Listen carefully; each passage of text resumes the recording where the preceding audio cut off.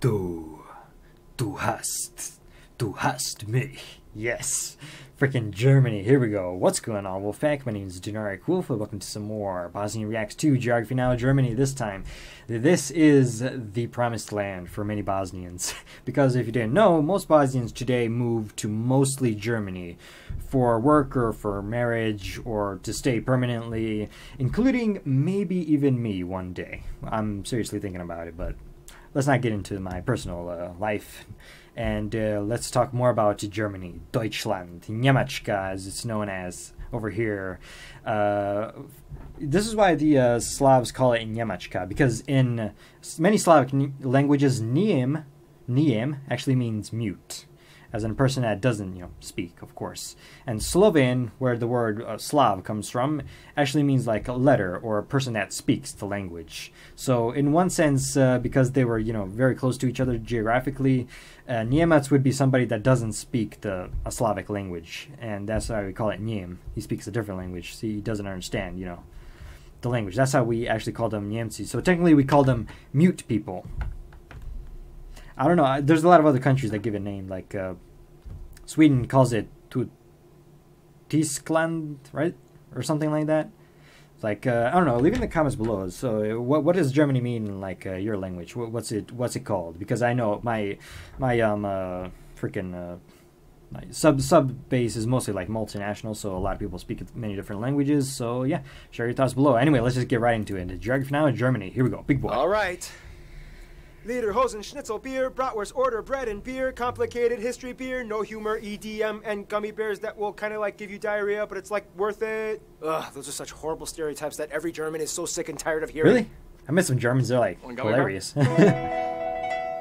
it's time to learn geography. Now! Hey everyone, I'm your host Barbie. So, we've conquered Belgium's castle, jumped through Denmark's lagoon, danced through France's forest, and now we've made it to the final boss of the EU, Kingpin Germany. Level 1, begin. Alright, level 1. Ah, you know why I'm smiling. Yep, Germany has a lot of territorial anomalies. We'll get into that in a little bit, but first, Germany is located in central Western Europe, Smack bordered by nine middle. other countries. Don't forget little Luxembourg, with small coasts on the North How and Baltic Seas, which they own about 50 small islands. Now, Germany, like the US, is a federal republic which has 16 smaller states, or Bundeslande, each with its own constitution, three of which are cities, the capital Berlin, Hamburg, and Bremen, which is actually kind of like two cities, including Bremerhaven on the coast, but they kind of act like one entity. Fun side note, Lower Saxony is actually geographically situated further north than regular Saxony. Now let's jump into the fun stuff. Now we already because discussed reasons. the Jungholz Quadrupoint and the Vennbahn railway enclaves with Belgium and Austria. However, there's a few more. The entire town of Busingen am Hochrhein is surrounded by Switzerland, whereas part of the Konstanz is cut off by the Rhine River and surrounded by Switzerland. However, immediately across the river, a small patch of empty land on the German side actually belongs to Switzerland. Finally, they split the island of Usedom with Poland in the north. Germany is interesting because every state in the country has its own distinct culture, dialect, history, food, traditions. I mean, Bavarians will be quite drastically different from Schleswig-Holsteiners. Mecklenburg-Vorpommern will be different from Saarland. This all Okay, uh, now smartass alert. Here's here's one of the reasons why uh, they developed a vastly different identity. Uh, well, not vastly different. What am I talking about? Uh, somewhat different identity, but they're still, you know, kind of Germans. Uh, many years ago, we will all, we, most of you know the Holy Roman Empire. Many of you played EU4 before. Uh, basically, it was a whole bunch of different uh, uh, small city-states. That was technically kind of an empire, but it was neither holy nor Roman nor an empire. But uh, not getting into that now. Basically, uh, Germany is made up of many different river systems. Now, bear with me here. A lot of them are navigable, and but all of them flow in different directions. Notice how the Danube flows in a different direction, the Rhine flows in one direction, the Weser in another, and the Oder in another. So basically, what this means is a lot of them traded with uh, different trading partners. If you're if you're get, get where I'm going. So basically, every, where you live on a river, that's basically who you interact with the most on that navigable river. Uh, navigable rivers basically create nations, like the Volga River Basin or the Yangtze River Basin. So I'm going to actually cut that part out. My uh, webcam actually fell off my uh, desk there. Don't ask how, but it just fell off. It was like so bored with my uh, freaking lecturing. He's just, oh my god, dude, shut up. so I'm just gonna finish it. Uh, so basically, they interacted uh, somewhat differently, unlike where every other, very differently, and um, uh, very different. There was a lot of seats of power. Like there was uh, Bavaria, which was pretty powerful. Berlin, which was pretty powerful. Hamburg, which was pretty powerful. Uh, the the Rhineland, or like uh, close to uh, was that Essen. Uh, around that place, uh, th- it was pretty powerful. So they were all like competing against each other. While uh, in uh, France, it's mostly just the Parisians that are su- supreme, and nobody can really stand up to them. So this is why the the French were more centralized historically, and the Germans more federalized historically. Oh my god. Okay, we're done. Don't fall off camera. God damn it. Don't embarrass me like that again. and recent history. Basically, in the quickest way I can summarize this, Germanic tribes, Roman wars, Charlemagne, three Yep. kingdoms. Yep. This guy marries an Italian, creating a whole new mess called the Holy Roman Empire, made up of 300 smaller separate kingdoms, states, and dukedoms, which had nothing to do with Romans. Teutonic Totally Knights, Brandenburgs became Prussia, Habsburgs became Austrians, Lithuanians and Poles made their own thing, whereas the Hungarians joined the Austrians. Wars, wars, battles, battles. Napoleon comes over and messes everything up, and finally, German nationalism surges, and in 1871, Otto von Bismarck creates the first proto-German unified state. And then they're all like, "Oh dang, we came late to this game. We gotta Yeah, so Germans lived uh, outside of what we know today as Germany. They've kind of lived everywhere, even like around the Volga basin re- uh, region. They even lived there. So basically, what happened was uh, after World War One and World War Two, they decided to. Uh, they called it an ethnic uh, reconfiguration, I believe, but it was technically an ethnic cleansing of Ger- Germanic peoples uh, to make sure that Germany wouldn't be that powerful again, because it was crazy powerful at the time. If you couldn't scramble for some colonies, and that's how all of these countries at one point spoke German. Oh, and also keep in mind, like 300 years before this, a German banking company obtained colonial rights to Venezuela for like 20 years. They were looking for the lost city of El Dorado. So technically, you Who can say? Germans colonized the Americas, but it wasn't like a nationalized conquest thing. Fast forward even more, and then you get World War One. The monarchy ends. Treaty of Versailles. They lose land. Nazis come in. World War Two. Germany splits in two for about 40 years, and then finally we get the Germany we have today. East Germany, consisting of these states, is today still quite different from the rest of Germany as it was first occupied and influenced by the Soviet Union. They are generally And even to this day, he, he might mention if I just wait one second. But even to this day, the eastern part of Germany is still uh, somewhat behind from the western part, which is much more, you know, wealthier. I believe like the western part has uh, an average uh, GDP per capita of like sixty thousand dollars, while the eastern part has, in some parts, like only twenty eight thousand dollars, which is still pretty good, but for German standards, not that good.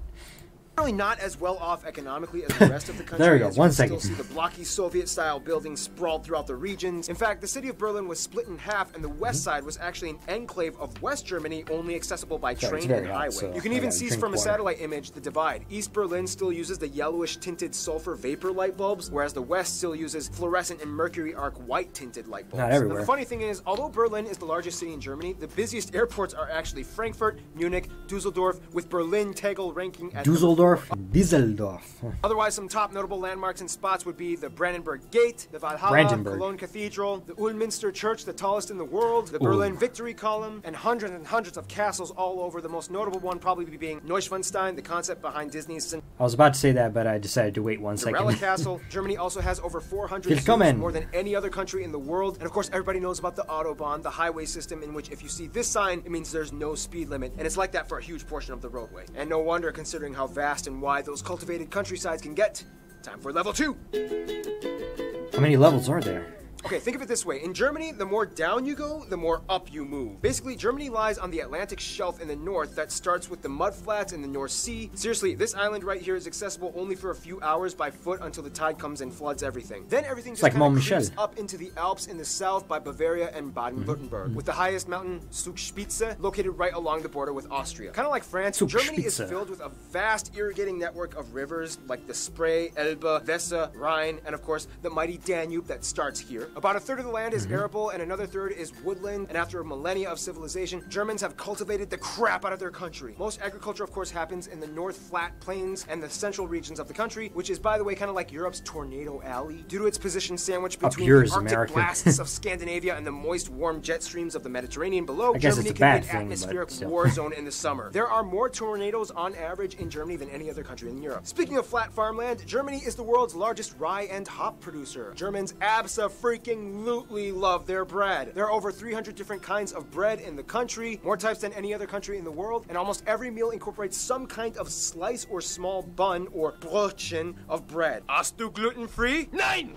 Oh yeah, and uh, when my mother was, my mom worked uh, actually in Germany at one point, and she would always bring back like something from Germany. Man, their food is freaking awesome, and their bread. I could just eat the bread alone. That's how good their bread is, and uh, yeah. So hopefully one day uh, I'll try all of them at once. Germans are heavy meat eaters, specifically in pork. They basically know every possible way to What cook about beer? Over 50 different types Beer? of sausage exist alongside schnitzels, rouladen, sauerbraten, Schweinshaxe, and at a big party you might find Spanferkel. Beer reigns supreme. I don't like how he pronounces the third the largest Germ- German. Beer after the Czech Republic. Even it's their not president has bad, no but- with public intoxication, and Austria. Germany is world renowned for their beer, which, by the way, follows the Reinheitsgebot rule, in which they are only Uh, here beer over here in Bosnia is really not that good, but I actually tried some German beer. My mom actually brought German beer back over here at home, and uh, it's a lot better than Bosnian beer. I can tell you that. Allowed to use water, hops, malt, and sometimes yeast. Nonetheless, about 1,300 breweries exist, pumping out over 5,000 brands. The oldest continuously existing brewery in the world, started by Benedictine monks in Dust 1040 auf. AD, can be found here. Germany takes that. the environment very seriously, and for the past two decades has been going on a major green revolution. As of today, they have the largest installed solar power capacity and green infrastructure practice. Yeah, the problem with them and solar power is if uh, you actually look up in Germany, you'll notice uh, it's mostly mostly cloudy most of the year for them. So unfortunately, it's not as effective. It's a good uh, thing they're doing, but it's not as effective as it would be in uh, different parts of the world. Practices like home installed turbines and solar panels have seen a huge How do you install a home installed turbine? Like one of those like giant wind turbines? Can I just stick that outside of my house and it would, wouldn't it be like super loud? Like what does he mean by turbines? resurgence in the past 10 years. Forests dominate the southern regions oh, is where the landscape gets hillier I would be there and mountainous. all the most day. famous one being the Black Forest or the Schwarzwald in Baden-Württemberg. Deer, bears, boar, foxes, badgers, and the national animal, the eagle, can be found thriving Really? in these parts. Nonetheless, economically, Germany is known mostly for their exceptional America. engineering and industry production. Companies we've all heard of like Volkswagen, BMW, Mercedes-Benz, Porsche, Audi, Telekom, Nivea, DHL, Bosch, Adidas, Puma, Adidas, Puma. Yeah, it's kind of like the whole. I'm- I'm going with Adidas, being a Brazil. Slav. Remember? well, we have mudflats, tornadoes, pork, beer, mountains. All that's missing is people. Level three. Fun little side note: in Germany, this is three, not this. Now, if the EU was a family, Germany would kind of be This like the dad who got out of rehab, down here. reconciled with his wife and kids, and is taking his new life very seriously as he is haunted by the demons of his past every day. First of all, the Sounds country like has me. about 82 million people and is the most populated. I might be EU, German. second most in Europe, Ich after Russia, and has the uh. fourth largest nominal GDP in the world. About 80% of the country identifies as ethnically German, 12% other Europeans, mostly Polish, Italian, Dutch, and so on. Turks make up about 3.5%, Asians at 2%, and the rest are made up of other groups like Africans and Americans. Also, they use the euro, they use the C and F type outlets, and they drive on the right side of the road. Germany is without a doubt a global powerhouse. It is the strongest economy in the EU and makes up about 16% of the union's population. It's the third largest exporter and importer of goods in the world. After the United States, Germany is also the second is most why it's popular very global migration globalized. destination. Germany experiences a high standard of living, tuition-free universities, if you get accepted, that is, a mostly government-subsidized universal healthcare system. Uh, same same down here in Bosnia. If you're accepted and you you're not you know uh, an associate, you're going for an associate's degree, it's mostly free. It's like hundred, maybe two hundred marks a year, but eh, that's basically free. You can find that money anywhere easily. I mean, system About a quarter is still privatized, and state pension for retirement at age 65. Now, when it comes to language, things get a little tricky. Each state kind of has their own kind of funny how uh, uh, a small, fairly not so well off country like Bosnia can have like healthcare and uh, free education, but countries like America cannot. That's telling you something about how awesome just Europe is. type of German. So sorry- to sorry to my Germans Americans, learn how to but many Americans would agree with me. High German, which is the standard dialect. The European Charter, however, protects the minority languages of Frisian, Danish, Romani, Sorbian, which is like a Slavic-based language used along the Czech-Polish border, and Plattdeutsch. I never know if they're like uh, related to Serbian because obviously that would that looks like Serbian. or Low German, which has similarities to Dutch and is typically used by the Amish and Mennonite communities across the world. In terms of regional distinctions, though, Germany is kind of divided into five cultural areas Rhineland, East and Middle Deutschland, Norddeutschland, Baden Württemberg, and Bavaria. Rhineland is on the west side and has a culture somewhat more influenced by France, more Catholics. Carnival celebrations are huge out here. East and Middle Germany was By the way, the southern Germans are more Catholic, northern Germans more Protestant. the part that used to be its own country for 40 years as it was influenced by the Soviets. Sorbians can also be found here too. Northern Germany has a coastal sea culture that identifies closer with Denmark and the Netherlands. They are also known for being kind of quiet and reserved. Baden-Württemberg has an interesting Swabian culture where they speak a dialect so thick that only about 40 oh yeah, this is what uh is their like nickname down here in the, the Balkans, Schwabe. It comes from Swabian, Sometimes we call them Schwabe. 80% of it is intelligible to other Germans. And then you have Bavaria, which is where the Americanized, perpetuated stereotypes about Germany came from, with Lederhosen, dirndls, half timber, beer houses, and cuckoo clocks. For the record, Germans are sick of those stereotypes. It's like saying all Americans are cowboys with guns and horses. Speaking of stereotypes, some of the What? stereotypes in Germany include things like Saxons being very indecisive, Berliners are always bragging about themselves, Swabians are stingy, Bavarians drink too much, Hessians talk too much, Holsteiners don't talk enough. This is probably all so true. words differ from regions too. For example, in High German, you would say Auf Wiedersehen, but in Bavarian, you would say Pfiat di Gott. In Kölsch, you would say Tschüss. Tschüss. And in Rhineland, you might say Ayus. And there's so many compound words that get really long and complicated, like Rindfleische Etikettierungsüberwachungsaufgaben Übertragungsgesetz. Really? Let me try that. Let me try that. Get get the fuck over here. Rindfleischetikettierungsüberwachungsaufgaben Übertragungsgesetz. How's my how's my German? German's technically not a word anymore. Isn't this like when somebody like really has to like get slapped? I know that was like a word in German. Gesetz. this is because many words are merkwürdig, or ambiguous words that are kind of elongated to give off an extensive meaning. Germans have very vivid imaginations and make up words for everything. Like my favorite word, Backpfeifengesicht. That's the one, that's Not the one. this time. By the way, for the record, this letter makes a S- double S sound. However, hmm? spelling I know reformers have tried to decrease the usage of this letter in recent years, which has led to some protests. Germans also love dubbing everything from foreign media into German. Some like this, some don't, but either way, it's here to stay. About SpongeBob in 60% of the country identifies at least nominally as Christians, split between Protestants and Catholics. Germany was even the birthplace of the Protestant Reformation, split from the Catholic Church by Martin Luther. Otherwise, the rest are mostly agnostic or irreligious, with a noticeable community of Muslims, mostly from the huge Turkish and Middle Eastern communities, at about 5%, as well as a few Jews, Buddhists, and Hindus rounding up the remainder 1%. To kind of get a feel of Jews, what it's like to eh? be German, you kind of have to understand where they've come from. After I'm World surprised- War II, they kind of had a lot of work to do. However, it wasn't until Yeah. the mid 50s and early 60s that the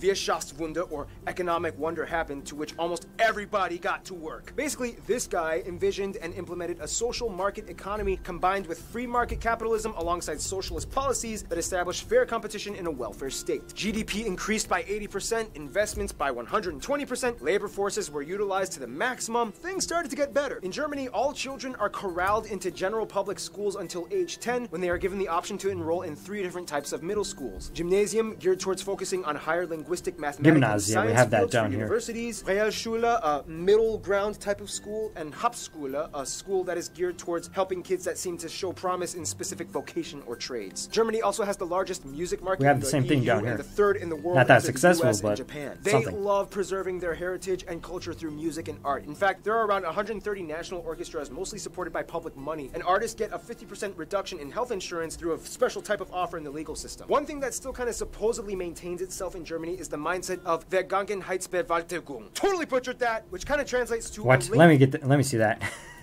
Shut up. This is way more important than the uh, video. Vergangenheitsbewältigung. Vergangenheitsbewältigung. Got. Bewältigung. Totally butchered that, which kind of translates to a lingering sense of guilt from the past. Germans have Do not feel guilty for your past. You had nothing to do with it. Just look at our past in the Balkans. Oh man, was it fucked up? But still, I had nothing to do with it. Neither do uh, a lot of the young uh, Serbians out there and the young Croatians out there. Okay, we, let's just get along.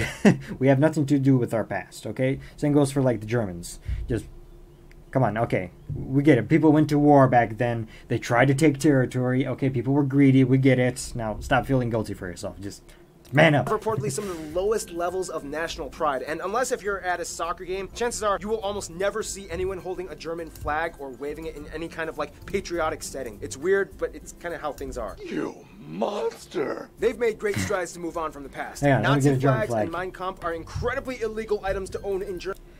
By the way, I was at a bookstore and no joke, I actually saw Mein Kampf uh, in Bosnian, of course, but it's allowed down here. It's not allowed up there. Well, obviously, it's not like he's gonna be coming back. Come on. Germany, and they even have a rule, the Volksverhetzung, which basically says you cannot talk trash by denying the past atrocities. Some people say this infringes on They free did speech, happen, Others but- say it's good because it solidifies truth. Otherwise, some notable Germans throughout history include Charlemagne, although he was a Frank, but eh, I guess it kind of counts. Albrecht, Dürer, David Friedrich, Gutenberg, Bach, Beethoven, Karl Benz, Albert Einstein, although Americans would like to claim that he moved to the US and became an American. Johannes Kepler, Johann was he was a Wolfgang von Goethe, Friedrich Schiller, Michael Schumacher, Alex von Humboldt, and of course Yeah, Karl you totally Marx and Friedrich. Engels co-founded Marxism.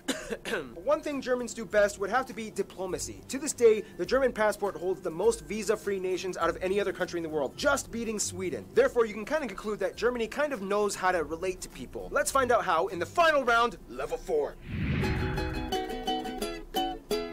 Germany knows how to make friends. They have over 220 diplomatic missions abroad and over 350 honorary consuls and have an incredibly high position of authority in the EU. Their closest African friend would probably be Namibia. As a former German colony way back in the 19th century, Namibia held on relations, and to this day, German is still a recognized language in Namibia. Germans have been supporting and sharing ties both economically and ideologically for over a century. India and South Korea are really close friends in Asia. India supported both East and West Hey, Germany during the Cold War, and after reunification, they were like, woohoo! We love even Germany. better! And Germany is to South Korea what Japan is to France. They love to piggyback off of each other's ideas and cultures, especially in the automotive industry. Many South Koreans were sent to Germany after the Korean War to work abroad and study, and Germans have been growing in fascination with visiting South Korea. The US is probably the closest ally outside of the EU. About 30% of Americans claim German heritage, and after World War II, the Marshall Plan allowed the US to give post-war aid to Germany, which helped kickstart the economic recovery. Germany was a key figure in the formation of the State of Israel after World War II, which after the Holocaust left an obligation to invest in the building up of a Jewish community. Turkey is probably the closest Middle Eastern ally, as No the Turks make up the largest Asian demographic in Germany, although many of them may or may not also identify as Kurds. But since Kurds don't have a state of their own, they usually go under Turkish passports when immigrating and are documented as such. Their best friends, however, would probably be literally all their neighbors. The thing is, Germany is kind of like Bosnia and Herzegovina, in which by default they kind of get friends based off of the regional alliances. Bavarians get along with Austrians, Baden-Württembergs get along with Switzerland, East Germany has good relations with the Slavic countries, the Rhine states love Belgium, Luxembourg, and France, and the north side loves the Netherlands and Denmark. France, though, is kind of like the trophy wife of Germany, as the two have had an angry start, but then eventually fell in love and worked together beautifully. France is like the beautiful, flashy spokesperson for the EU that stands in the spotlight as Germany stands in the background, managing all the money and logistical work. In God damn it, conclusion, she although Germanic money. peoples have existed for thousands of years, an actual unified German state didn't appear until kind of recently, and the brief time that they've been around, they've kind of gone through Prussia some of the most intense, world revolutionizing historical events possibly imagined. Yet they've come out working Blood hard and building their way up to become a world superpower. You gotta give it to them. There's something about the Germans. And with that, final boss level complete. Stay tuned. Another African state Germany has ties to, Ghana, is coming up next. Okay, but first, the flag. This should be good. Hey, Jogger. Oh, is this on? Yes, it is. Hey, Geograpeeps, welcome back to Flag Friday. So, little disclaimer I'm going to start using Flag Friday as kind of like a platform to address the mistakes I made in the country episodes. Okay? So, in the Germany episode, I misspelled Wirtschaftswunder, and technically, it's not completely illegal to own Nazi memorabilia in Germany. I believe it's illegal to sell it or produce and print Mein Kampf, but it's not illegal to like own it. I'm not sure. You Germans have a lot of weird laws. Also, I believe You just come Beethoven was Bosnia and buy actually born in a German city, not Belgian, but there was somebody who was Belgian on his family. I don't, it's confusing. I think there are a few more things, but that, those were like the biggest ones. We're here to cover the German flag. Now, this is going to be a little hard because there's a lot of backstory and it's going to be really confusing, and I might even probably get a few things wrong with this, but I'm to try my best. All right, so without further ado.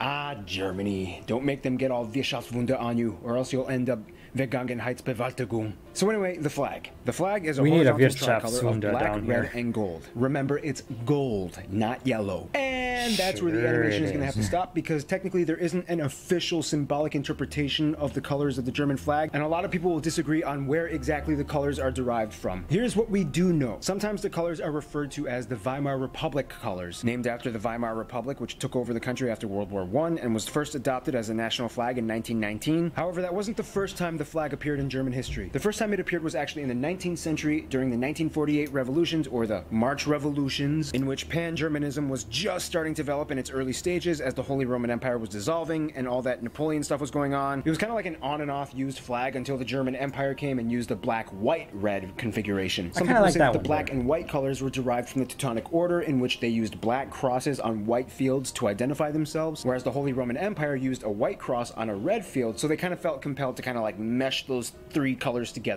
But how did the gold come into play? Here are some of the most prominent theories. Back in the day, most of what is Germany today lied in the Holy Roman Empire, which, funny enough, had nothing to do with Romans. And the flag for the empire was a yellow banner with a black eagle uh-huh. sporting a red beak and talons. Okay, fair enough. However, some people will say that it's also inspired from the uniforms of the Lutzow Free Corps, a militaristic group of volunteers who fought against Napoleon in the 1800s as they wore black uniforms with red trims and gold buttons. However, it's also said that in 1919, the three colors were attributed to the three main political parties the Democratic, the Centralist, and the Republican parties of Germany. However, many vexillologists might say that in the long run, the red might be derived from the Hanseatic League, Oh. which was like a commercial confederation on the north shores of Germany and other North and Baltic Sea states in the 14th century, whereas the black and gold are most likely probably attributed to the Austrian Empire, as the Austrians were kind of seen as like Germans back then. I don't know. You guys decide what story you like. Eh, whatever. Anyway, this flag was actually the flag of both East and West Germany for about 10 years until East Germany was like, hmm, we got to kind of set ourselves apart and distinguish ourselves from West Germany. So they put an emblem in their flag and then they finally reunited in the 90s. Speaking of which, that brings us to the coat of arms. Now I know what you're thinking. Oh, it looks just like the Holy Roman Empire flag. Exactly. Yeah, yeah, good eye, good eye. That's where it's kind of derived from. But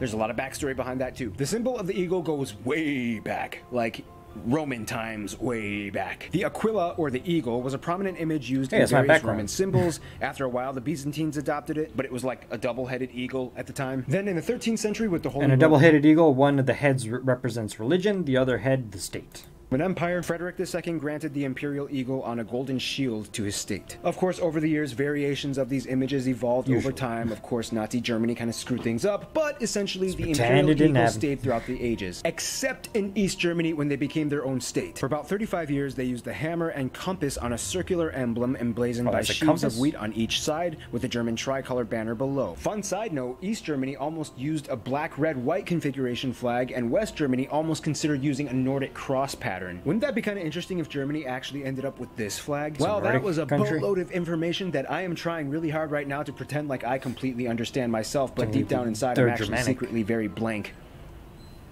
This has been Flag Friday. You've just been Paul, flagged. whatever. Ah, Germany. Maybe we'll see each other one day. So my uh, Germany, German uh, wolf pack. Maybe we'll see each other one day. Maybe we'll be neighbors. But that's a different story. But thank you all for watching, and as always, take care.